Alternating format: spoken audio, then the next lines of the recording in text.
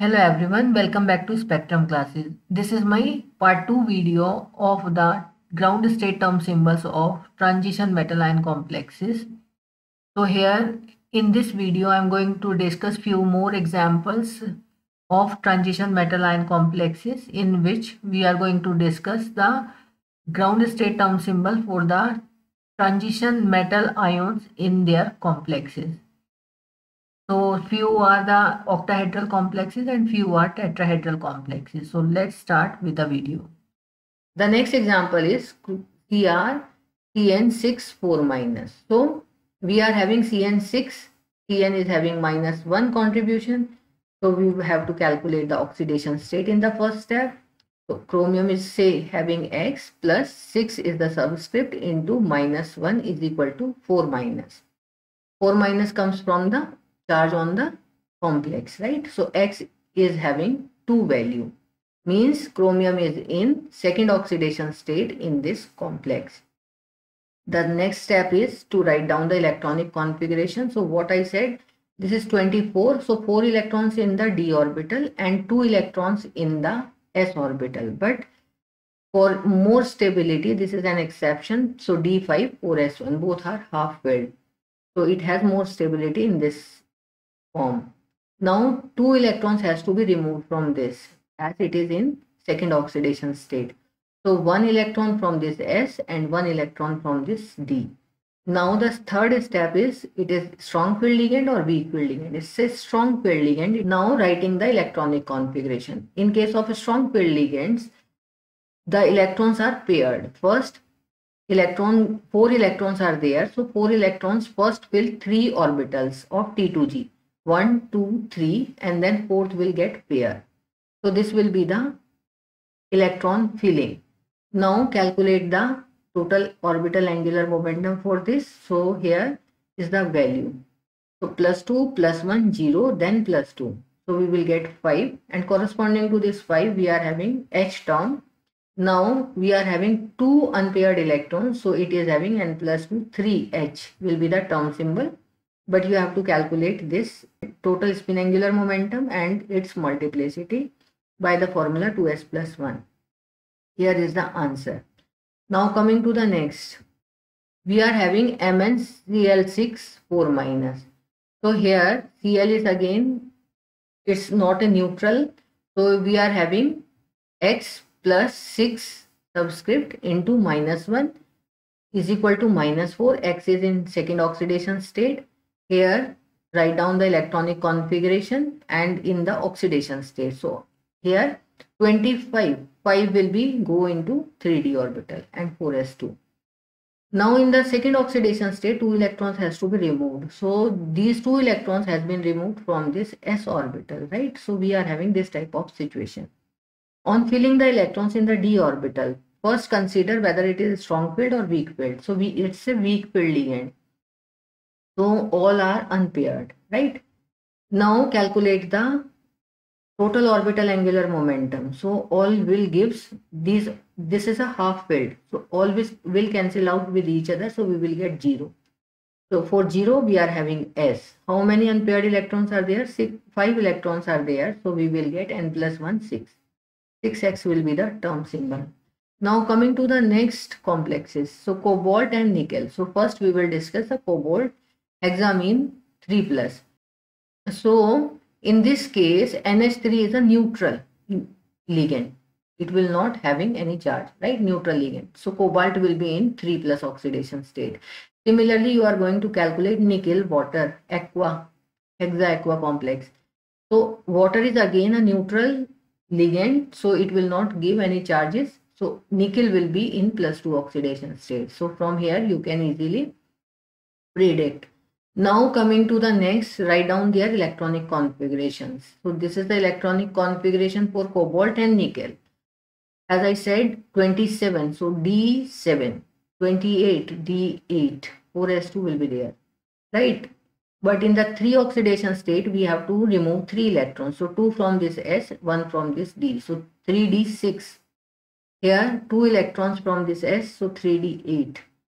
How we are going to fill the electrons? So first you have to identify. Nh3 is a nitrogen donor ligand and it's a strong field ligand. So it will pair the electrons. So six electrons will go one two three then again four five six. T2G orbitals will be filled here. Now calculate in the next step total orbital angular momentum. So for this 4 plus 2 plus 0 so 6 for 6, we are having the term I. How many electrons are there? Unpaired, 0 electrons. So 1 will be the spin multiplicity, right? 1I is the answer. The next one is nickel D8.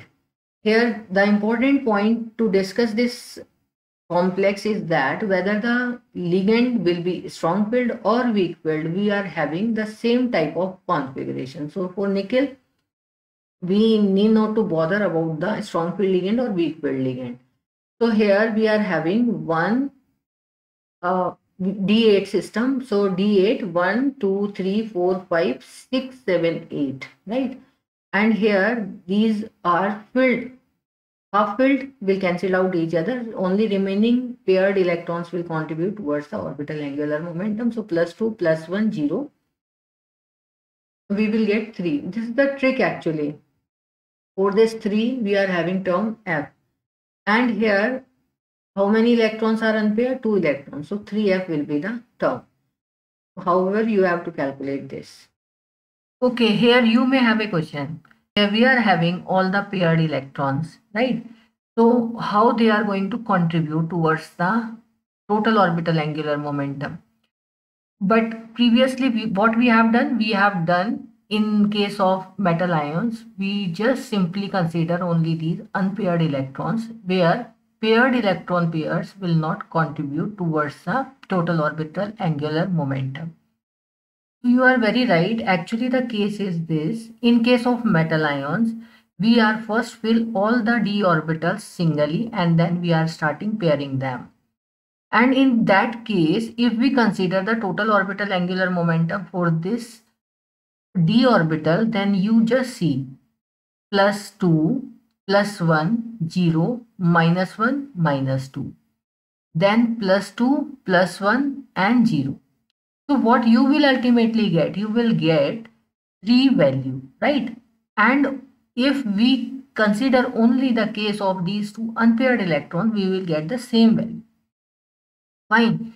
So this half filled orbitals will get cancelled out by each other and only the remaining electrons will there to contribute towards the orbital angular momentum. And the value is exactly equal to the unpaired number of electrons right?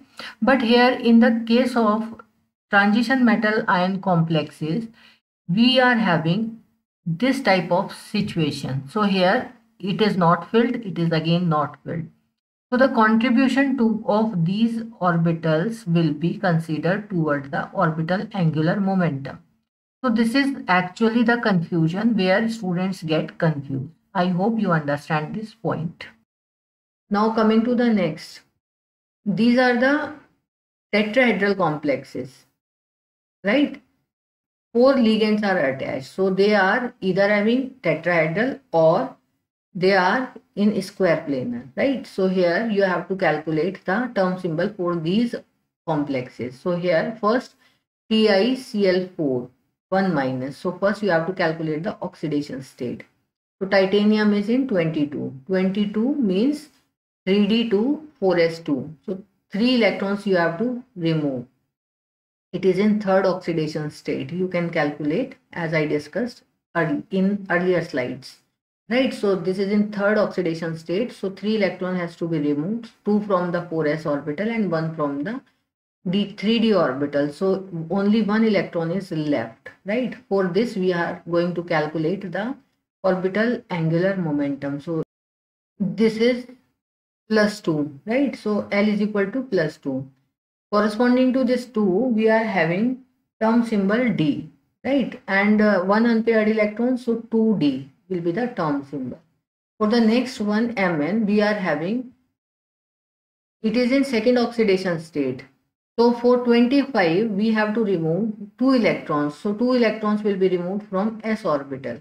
right so we will left with the 3d5 and how we are going to fill this it's a weak field ligand so these all five are unpaired right and now calculating the or total orbital angular momentum for this so l is equal to 0 this corresponds to s term. How many electrons are there? Five electrons are there. So 6s will be the term symbol. So i hope guys you find this video helpful and you understand how many steps we need to consider and how with simple tricks we can calculate it easily and fastly. So if you like this video please like share and subscribe thank you all. Thanks for watching